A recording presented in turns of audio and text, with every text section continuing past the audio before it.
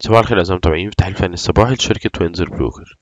هيقدمه لكم كريم مجدي اليوم 16 ديسمبر 2020 وهنتكلم مع بعض في الفيديو بتاعنا عن الجنيه البريطاني مقابل الدولار الأمريكي.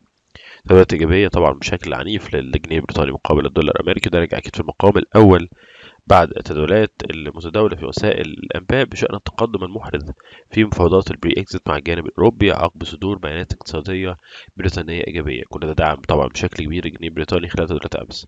أكد كبير مفوضي ملف البري إكزيت في الاتحاد الأوروبي ميشيل بارنيه إمكانية التوصل إلى اتفاق مع المملكة المتحدة حول مستقبل العلاقات بعد تنفيذ الخروج من التكتل الموحد. وده طبعا قرب المهلة المقررة المفاوضات بين لندن وبروكسل مع نهايتها خلال الشهر الجاري.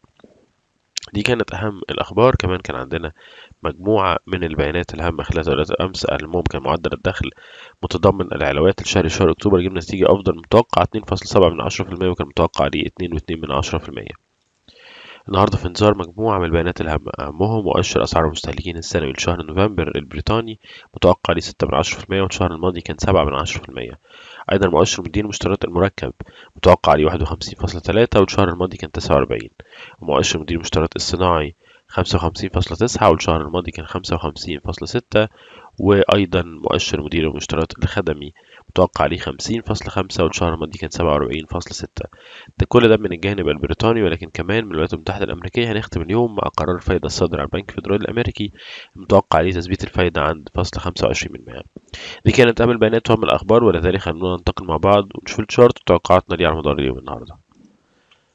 زي ما إحنا شايفين طبعا الأداء الإيجابي على الجنيه البريطاني وارتفاعه العنيف من ال 33 15 ليقدر نجاحه بكسر ال 34 60 وتحقيق المستهدف الثالث ليه خلال تداولات أمس. أداء إيجابي على ال SAR على ال Stochastic على الفلات ترند على ال EMA تقاطع المتوسطات السعرية الأعلى ثبات السعر أعلاهم المسافة بينهم طبعا بتدل على قوة الاتجاه ولذلك نتوقع مزيد من الإيجابية بشرط كسر ال 35 flat علشان يروح لل 35 50 عفوا 35 60 وراها 36 20 مرة ثانية كسر 35 وراها 35 60 وراها 36 20 السيناريو الآخر المعاكس اتحقق بكسر ال 34 15 وراها 33 75 وآخر نقطة عند 33 15 وبكده نكون وصلنا لنهاية الفيديو. بتمنى لكم أكيد وتداول آمن وبشكركم على حسن متابعتكم والسلام عليكم ورحمة الله وبركاته.